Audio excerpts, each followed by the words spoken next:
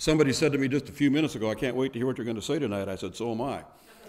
Uh, but I've been asked to speak on neither oldest nor best. And, and well, you've heard the, the, the book. Uh, Brother Brown has been so gracious to promote the book. And, uh, but just a review, I think m- most of you here tonight are, are up to speed on the basics. I know there's some uh, teenagers and some church people here tonight.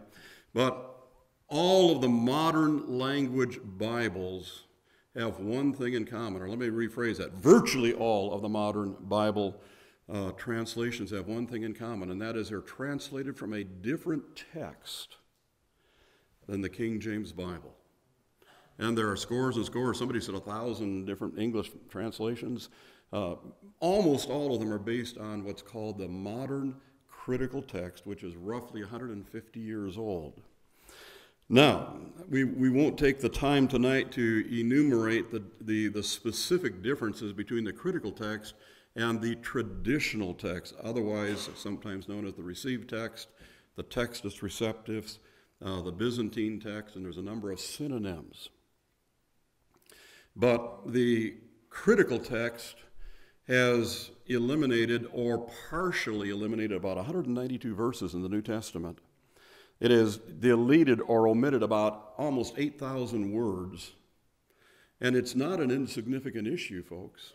And when you know what to look for, there's very clear distinctives between the, the, the critical text and the, uh, the traditional text of the, of, of the Bible. Now, the modern critical text is based primarily on two manuscripts. When Westcott and Hort produced their text back in 1881, it was based ex- exclusively on two, but today it's largely two. 90% of the modern critical text is based upon a, a document called Codex Vaticanus, which is Latin basically meaning the Book of the Vatican, because it's found in the, the Vatican Library. We'll get to that here a little later on tonight. 8% of the, the critical text is based on another manuscript called Codex Sinaiticus. And then there's about 2% from a, a, scattered group of other manuscripts.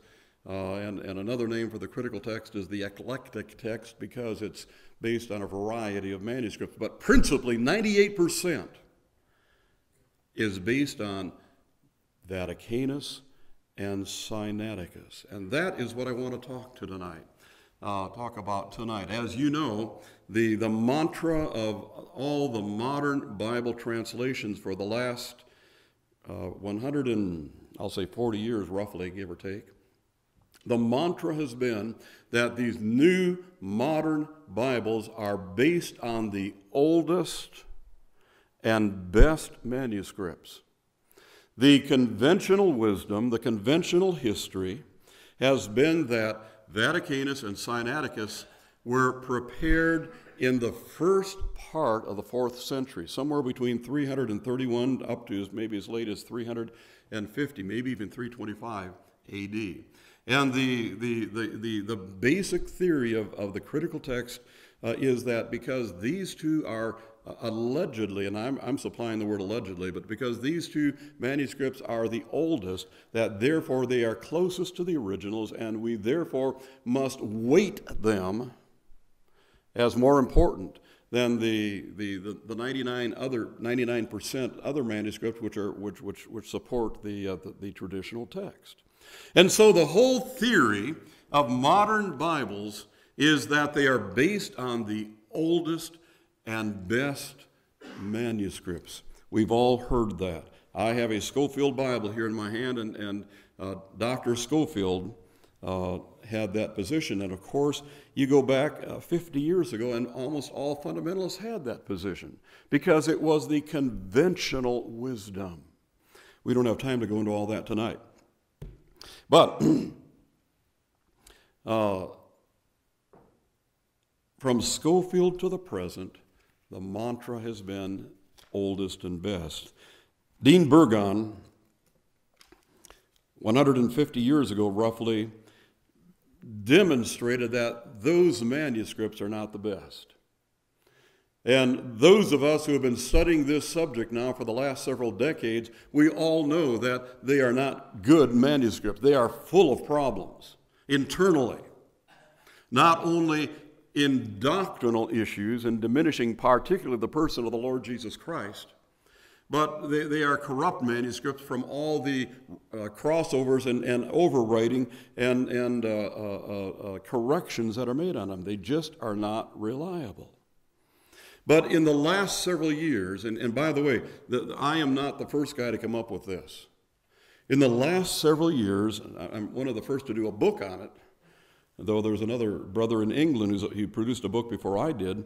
But uh, in, in the last several years, there have been a number of folks who have come to the conclusion that the, the, the modern critical text is neither old. It was not produced in 325 or 331 or, or, or whatever in the, the, the, fourth century, but rather they are of, in particularly the case of Sinaiticus, very recent origin and thereby and therefore are fraudulent to what they are purported to be. Now, so let, let me tell you the story tonight. Some of you have read the book and you're aware of it. Back in 1838, there was a man in Greece uh, by the name, a young man, by the way, a, a, man in Greece by the name of Constantine Simonides. Uh, Constantine Simonides uh, was reared uh, uh, on and about Mount Athos, Mount Athos, which is near Thessalonica. Americans call it Thessalonica, but the Greeks call it Thessalonica. Um, uh, Mount Athos on Mount, uh, uh, uh or rather on um, near Salonica, Thessalonica, was where the majority of the Greek scriptoriums have been for the last thousand years. Scriptoriums is where the, the, the, the, scriptures were copied prior to the advent of, of printing. And Erasmus, of course, his major contribution was that he put the, the received text into print. He did not create it, he just put it into print. And it went from there. Prior thereto, it was all hand copied. Well, anyway, Simonides grew up there. He was a Greek. He knew Greek. He knew classical Greek. He knew Koine Greek. He knew uh, modern Greek. He was a Greek. Moreover, he was a paleographer. That is, he was expert in textual analysis of the letter forms and uh, in, in reproducing uh, the text.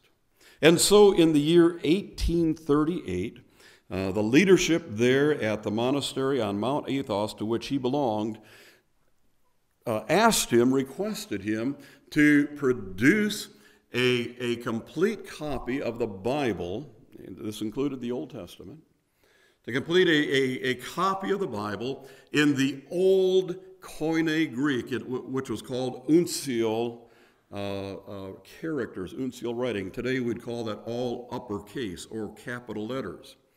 And uh, in, in that era is when uh, and, and, that's why that, uh, Tischendorf would later date it that old, because that was when uncial writing was the vogue, was, was the, the primary way of writing the Greek language. And so in 1838, the latter part of the year, uh, Simonides sat down at the project uh, to, to copy the Bible uh, in, into a fresh manuscript in uncial characters. Now, his motive was this uh, the monastery that, to which he was a part of there on Mount Athos, and there were a number of them. But the monastery of which he was a part was seeking to present uh, this new copied Bible to the Tsar of Russia in St. Petersburg, Russia. And the motive was the, the, the, Tsar of Russia, the, the Greek church and the Russian church, the Greek Orthodox and the Russian Orthodox, uh, uh, were, often colleagues and, and, and, and collaborated together and were relatively close in their, their doctrine and so forth. And the purpose was to uh, present it to the czar so that they hoped he would donate funds for that, the, their monastery to, to buy a printing press. And so Simonides set out. Uh, it took him a little over a year, uh, around 18 months, uh, to produce this copy of the Old Testament in uncial uh, characters, uh, uh, uppercase letters. But he did it in haste. He completed it in 1840. He did it in haste, and he made quite a few mistakes. And therefore, his uncle Benedict, who was the, uh, I forget the title, but he was the head man of the, the, the monastery there, uh, went back and made many corrections. And you look at a copy of Sinaiticus today, it's full of corrections. And there were others there on the, the, the monastery staff, another scribe and calligrapher, uh, who likewise made numerous corrections. And because of the numerous corrections which were made, they therefore consider the project to be a failure. That is, insofar as giving it to the, the Tsar of Russia as a gift. It therefore made its way to a place called St. Catherine's Monastery, which was a Greek Orthodox, uh, Greek Orthodox monastery. Made its way to St. Catherine's Monastery at the foot of Mount Sinai in Egypt and there went into the library. Well, you all know the story how that in 1844, uh, Constantine von Tischendorf, a German rationalist, and let me just hit the pause button and, and get off on a sidebar here. Tischendorf was a, a German rationalist, he was a liberal Lutheran. And uh, he, he was a young man also, 28 years old when he began this quest. But Tischendorf took the view and the position that the true New Testament had been lost to antiquity. He completely rejected the received text. And because it had been lost to antiquity, therefore he took it upon him as his life mission to, by finding ancient manuscripts in the Middle East, to reconstruct the New Testament. Well, folks, I have an announcement to make. The New Testament has not been lost. God has preserved his word. Heaven and earth shall pass away, but my words shall not pass away. But he was a liberal, and uh, so he set out to reconstruct the New Testament by searching several monastery libraries, uh, uh places of, of, of uh, ancient documents in the Mediterranean world. And so in 1844, he went to St. Catherine's Monastery. We have all heard the story how that in going to the library that he noticed an old document in a wastebasket ready to be burned. You've all heard that. We've all been taught that. That is the conventional wisdom. Well, in all likelihood, that never happened. And in all likelihood, Tischendorf stole a portion of that ancient manuscript from the library and made up that story to cover his tracks.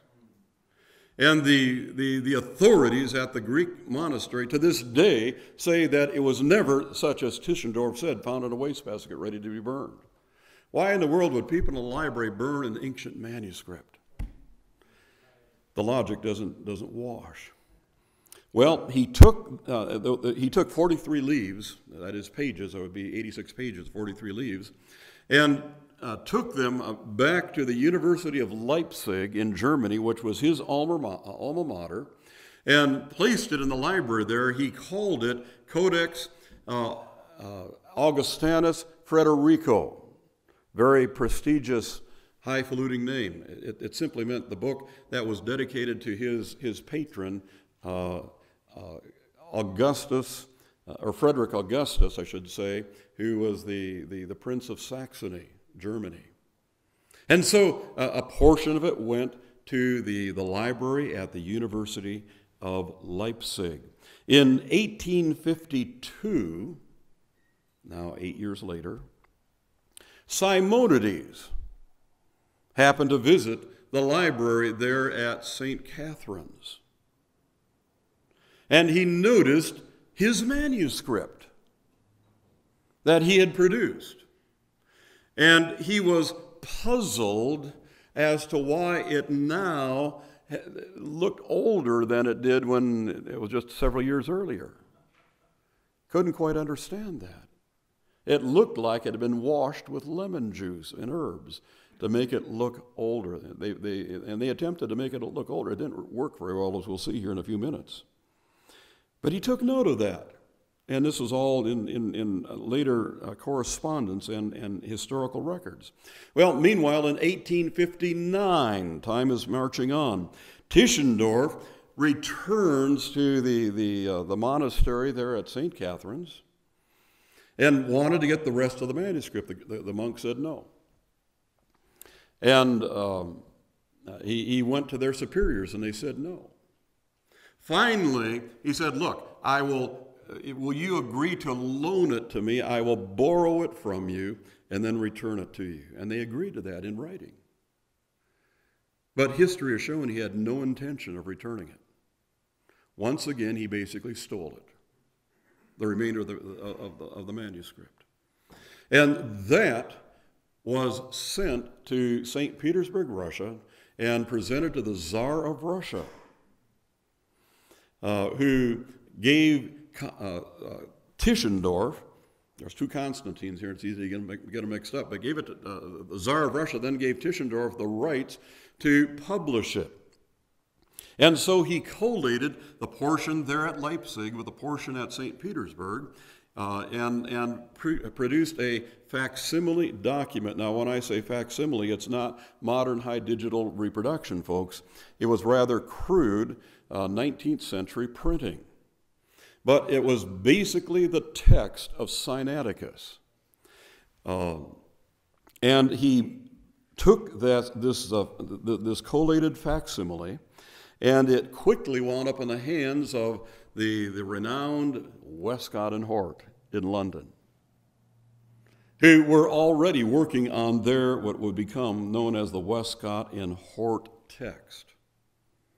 Well, meanwhile, in 1860, another year later, Simonides visited England. And he was a man to this point who was highly regarded all across uh uh, uh, uh, uh, Europe, I should say, as an expert on ancient documents.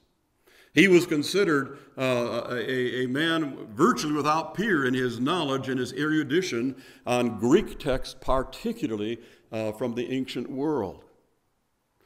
That was soon to change very quickly. But in 1860, Simonides in England saw that facsimile copy of his, uh, uh, the, what came to be known as Sinaiticus. And he said, Wait a minute, hold the phone. That's in the Greek, by the way. He said, I created that back in 1940, 20 years ago. That's not an old document. That's not 1,500 years old. I did that. Well, that made its way to, among other people, uh, Dr. Hort, who went public in, in the, the, the, the, newspapers of England. I think it was The Guardian, which is still a major newspaper in England today, and basically said, This guy is a liar. And being so demeaned in his character, uh, uh, Simonides then sent a letter to, the, I believe it was the Guardian newspaper. It's in the book. I'm winging it here tonight, folks. But sent a letter to the Guardian newspaper saying, look, this is what really happened. And he presented in a fairly uh, long letter the details, largely what I shared with you tonight, that he produced this back in 1840. And that produced a flurry of letters to the editors of several uh, major uh, British newspapers. It was no secret now. This was out in the open. I mean, it was on the evening news every night, as it were, in the British press. And they debated back and forth.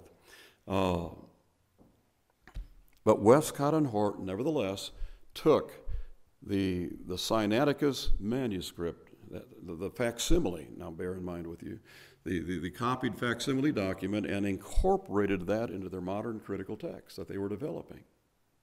Now, what is interesting, prior to this time, Simonides was considered a great scholar, a man uh, uh, expert in Greek documents. After this point, he came to be known as Simonides the hoaxer.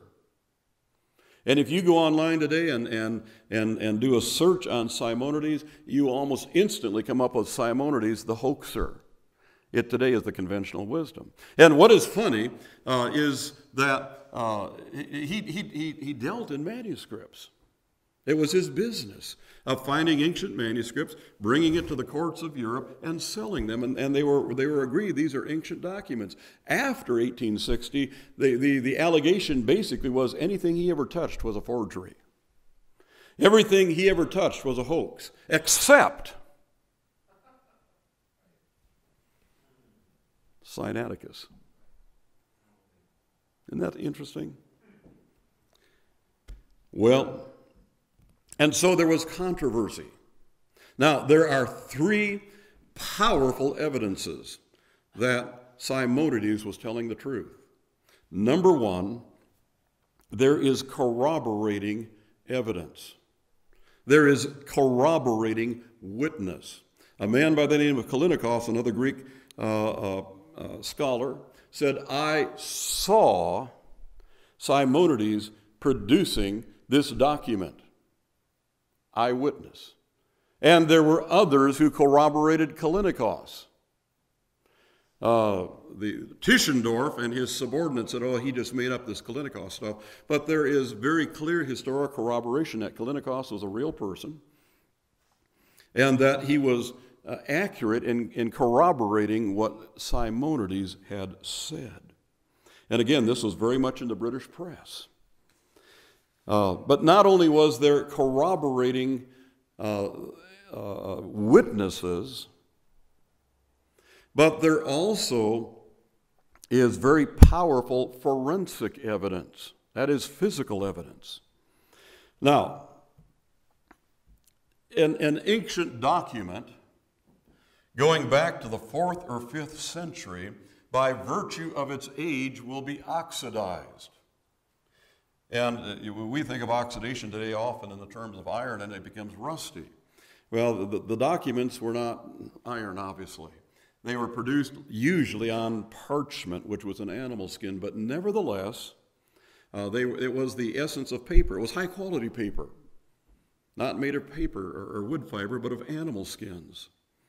But other ancient documents, for example, Codex Beza, uh, which was uh, uh, owned by Theodore Beza of the Reformation. Codex Beza, uh, you can go online to the British Library and they have high definition digital photographs that you can look at, and they are, it is clearly oxidized, that it is tan, probably almost the color of this pulpit. You can go online and look at Codex Alexandrinus, uh, another Alexandrian uh, manuscript. It too is oxidized. It's brown. It's almost bronze in its, its coloration. When, and, and you can do this online, brethren, you go online and look at Sinaiticus.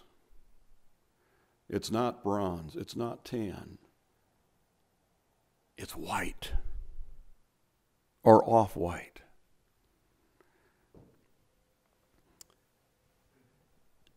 In the year 1856, a Russian scholar by the name of Dobschutz, I'm sorry, Uspensky, I'm getting ahead of myself. Uh, Uspensky in 1856 went to the University of Leipzig and was requested to examine this Codex Augustinus Frederico, or Frederico Augustinus, I should say, and he said it was white parchment. And particularly the the Leipzig portion is, is such. In uh, 1910, a German researcher by the name of Ernest von Dobschutz uh, went to Leipzig and, and saw the document and said it is snow white parchment. Well, this is laser printing paper. That's about snow white. In the year 1913, uh, a, a, Scottish uh, uh, researcher went to Leipzig and saw the document, uh, a, a, man by the name of J.M. McClymont, and he said it was written on snow white vellum. And if you don't believe me, now this is the last book, and somebody's already spoken for it, but you can order more from us. Now, we had to charge more for this book, folks, because there are pictures in it color pictures in it. And I know that's why some of you guys are buying it because it's got pictures in it.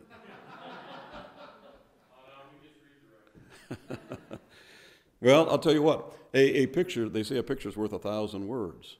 And uh, people have, have, have read this book, and some, some of it goes over them. You know, it, it gets somewhat technical, though I've tried to put it in on a level where people can understand it. But when they come to the picture pages, folks, it says it all. Here is a picture of Codex Bezae. I don't know if you can see it clearly out there. It's rather bronze in its appearance. Here's a, a these incidentally are all uh, digital high definition photographs, all of them by the British Library. It's all from the same source with the same equipment, the same lighting. It's all standardized to that degree. Uh, here is Alexandrinus. Again, it's, it's bronze in its color. Here is Sinaiticus. And you probably can't see it clear, but it just, it's, it's white. Maybe not snow white anymore because they did attempt to doctor it. And that says it all. I mean, you can see it with your eyes. Uh, the, it's called the Sinaiticus Project. You can go online and, and look it up. And uh, the British Library, I think it was 2011, uh, about six years ago, put the, they, they combined, they sent a, a, a crew to uh, Leipzig to make high definition digital color photographs uh, what is there in Leipzig. They likewise did the same in London at the, at the British Museum. Uh, incidentally, the, the, the documents that were sent to Russia, the manuscript that was sent to Russia, was sold by the Soviets to the British Museum in 1933 to help underwrite the Russian government, which was struggling, the Soviet government. And it became the property of the, the, the, British Museum, and, and since it's come to be known as the British Library, at least the portion where the, the document is at, the manuscript is at. And so, British librarians, uh, using the same equipment, the same lighting, uh, photographically collated these documents. And, and, and curiously, there is still just a, a, a, very small amount, just a page or two left in St. Petersburg, and a, small amount left at uh, Mount Sinai. And there's some significance to the stuff that's left behind. And they produced what has come to be known as the Sinaiticus Project. You can go online tonight if you wish and, and look at it. And uh, it, it's zoomable, you can zoom in and out, and, and you can look at details. And I would submit to you tonight that uh, men such as Westcott and Hort never saw the detail that you can see tonight. They saw facsimiles, black and white facsimiles of rather crude 19th century letterpress printing. And you can see the, the, the, anomalies and the issues, some of which I'm going to talk about here in a second. Now, it's, it's, it's curious also that portions of Vaticanus are not heavily oxidized either, particularly Mark 16. We'll get to that here in a moment. But not only are the, the, the, the leaves of Sinaiticus a, a, a variation of white, an off white, but they also are relatively supple. You say, how do you know that? because the British Library allowed the BBC to come in uh, in, in 2011. It was right around the time of the, the anniversary, the, the 400th production of, of the King James Bible. And, and, and of course, these people are not up to speed, I think, in some areas. Uh, some uh, associated uh, Codex Sinaiticus with, with the King James Bible, uh, which it has nothing to do with historically and actually. But anyway, they, they made a YouTube video. You can go online tonight. The, the, the address is in the book. I don't have it here in front of me. Um, and see that, that, that BBC, new, it was for the news, the evening news, and see the, the, the, the, the reporter interviewing uh, one of the curators there at the library. And that curator has uh, Sinaiticus out, and he's just flipping the pages, flipping the pages, flipping the pages. This is supposed to be 1,500 years old. Folks, if that truly was 1,500 years old, they'd be treating it a lot differently. And the, the fact of the matter is, the British Library openly and candidly admits that the condition of this manuscript really doesn't fit the age that it is supposed to be. Now, uh, as a sidebar, the man who dated Sinaiticus, claiming it went to the fourth century, was none other than Tischendorf. I think he knew better. In fact, I think he was behind some of the alterations, and more alterations are coming here in a second, I'll tell you about. But all this dating, the, the, the, the allegation that it, it is old, goes back to one man, and that is Tischendorf. Well, not only is there the, the, the color of the, uh, the, the document and the, the suppleness of the document, but there are wormholes in the document. And that's to be expected in an old document. Uh, truly, they're bookworms. But here's what's interesting in some places, the text goes around the wormholes. And if it truly was an ancient document, the wormholes would go through the text. But Simonides, as he uh, was working on a relatively recent uh, uh, document of parchment, there were some wormholes in it, and he worked around them. And once again, it mitigates against the idea that it's ancient and rather supports Simonides in his account. But here is an, another interesting thing. Uh, again, you can go online and, and look at Sinaiticus from, from the, the beginning to the end. Uh, and there are some very obvious mutilations on some pages. Incidentally, uh, shortly after the, uh, the, the, the, BBC did their account and uh, the, the, the, uh, celebration of the, the 400th anniversary of the King James Bible, a publisher, uh, Hendricks, Hendrickson Publishers, which is a you know quote unquote Christian or religious publishing house out, I think it's in Massachusetts, they were allowed to likewise photograph page by page by page with, with high definition digital photography the entire uh, Sinaiticus uh, document, the entire manuscript that exists. And you can buy it today for the slight fee of about $1,000 and, and go through it line by line. Brother Brown has such a copy. He is a man of means. And uh,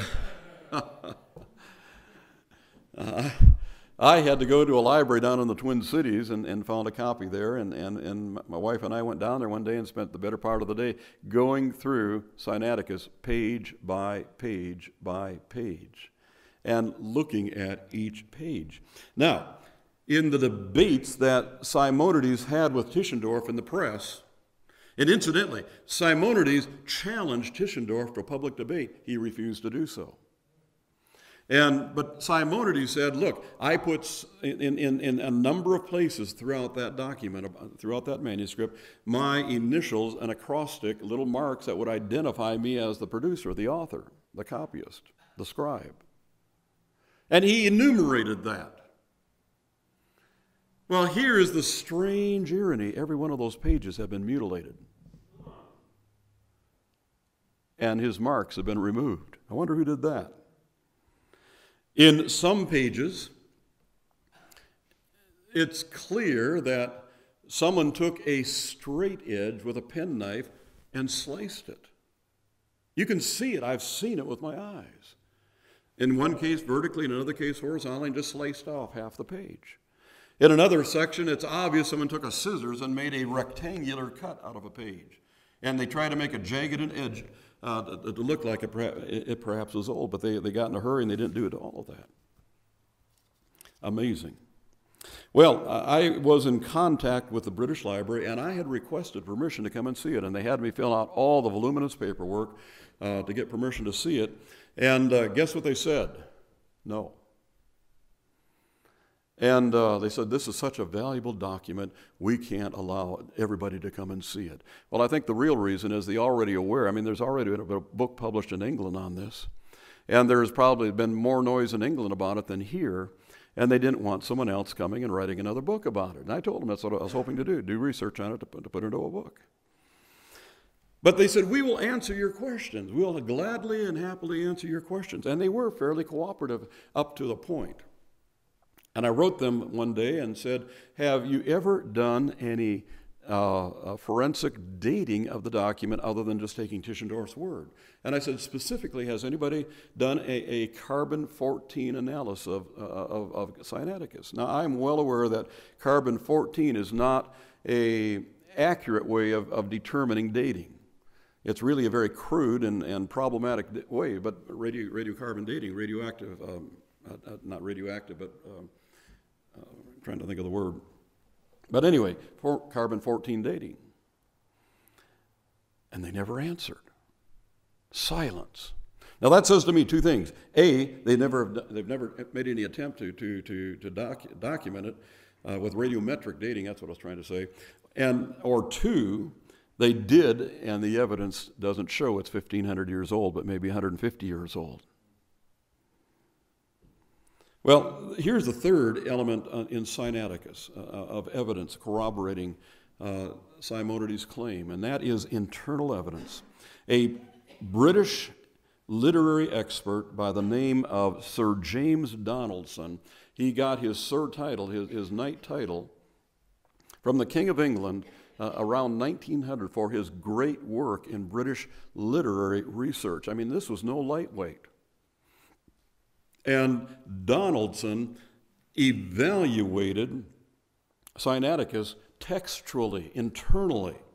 And he came to the conclusion that there are words in Sinaiticus that are in modern Greek but did not exist in Koine Greek in biblical times or in the, in the fourth century. What that simply means is let, let me use this illustration. Let's take Shakespeare. And uh, someone says, Here I have an ancient copy of Shakespeare. Very, very old. And so you read it and you find the word internet in there, or the word iPhone in there. Uh, and you know, wait a minute, something's wrong with that picture. And that's essentially what Donaldson did. And he has never been gainsaid on that. No one has ever challenged him on that. And the internal evidence shows very clearly that it's of recent origin, using modern Greek as opposed to classical or Koine Greek, the ancient Greek. And so there is the testimony of Simonides, there is the forensic evidence, and there is the internal textual evidence. Well, I must hasten because I want to leave Brother Brown lots of time here tonight. What about Vaticanus? Well, the story is not as flamboyant or, or uh, dramatic as that of uh, Sinaiticus. But here's a major issue in or, or Vaticanus. And again, the Vatican in the year 2015, that's only two and a half years ago, early in 2015, likewise put a high digital, full color, uh, digital representation of, of, of Vaticanus on the internet. You can go home tonight and look at it, page by page by page. And again, see detail that very few have seen apart from the Catholics in Tischendorf, who clearly, uh, I don't have the time to get into it tonight, but clearly was in collusion with the Catholics. But here is the thing that struck me as I went through Vaticanus, and that is every biblical book of Vaticanus begins with what, what printers call an initial drop cap. You say, what's that? Well, it's a large letter at the beginning of a, of, of, of, a, of a book, of a, a, document. Many Bibles, today my Bible has a, a drop cap at the beginning of every chapter. Now, it's not a, a fancy one, but these are fancy, full color drop caps that are, when you look at it carefully, it's integral to the text. That is, they were produced at the same time that the text was produced, was copied. What's the problem with that? Drop caps were not invented till the Middle Ages. And I have looked at, at, as many ancient documents as I could find, and they're essentially, and, and by the way, the, the, in, in Vaticanus it's full color. And the, the artwork clearly is medieval in character. I've looked at other ancient documents. And there either is no artwork, or if there is uh, in the text, text artwork, or if there is, it's just some black uh, curlicues at the end to fill up a little space at the bottom of a page. But the drop cap issue is something that was formed in the Middle Ages. Now, historically, Vaticanus was first recorded uh, in the Vatican Library in the year 1475. There is no record of it prior thereto. Moreover, the first historical record of anyone consulting Vaticanus was when Erasmus inquired of it in the year 1521. How much time do I have, Brother David? Still got another okay. Well, let me just quickly touch on the, the, the last 12 verses of Mark. I think we all know that they're missing, or at least they, they, they are not there in, in Sinaiticus and Vaticanus. Did you know that the only two manuscripts in the world that are missing uh, the last 12 verses of Mark are Sinaiticus and Vaticanus? Even the other Alexandrian uh, manuscripts have them. And our time is running and it gets pretty complex here, but it's clear when you look at the documents that it, it, they purposefully were omitted. In fact, there's every degree of, of, of evidence that uh, the same person who did Mark 16 in Vaticanus is the same person who did Mark 16 in Sinaiticus. And they, in fact, uh, were omitted. Now, a, a book, modern day books, this book is, uh, and most printers today do books in what are called 16 page signatures. They are, uh, and then it's all sewn together in a hardbound book, 16 pages. In ancient times, they were called, or not ancient, but uh, biblical times, even, even medieval times, they were called quires, Q U I R E S. And there is evidence, I don't have time tonight to get into it, that the, the quire, the Q U I R E, of Mark 16 in both Vaticanus and Sinaiticus have been inserted, missing the last 12 verses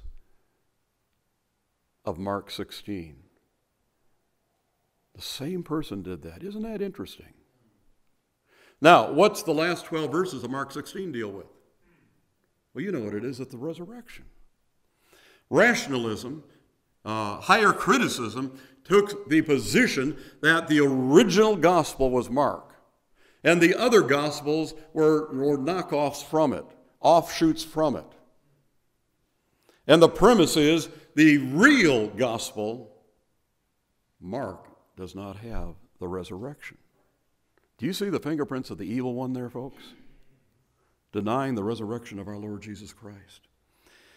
Well, there's, there's other stuff here. I just don't have time to get into it, and it's somewhat technical, but the, you say, well, who may have done all this? We know for a fact that Tischendorf clearly collaborated with, shall I use the word colluded?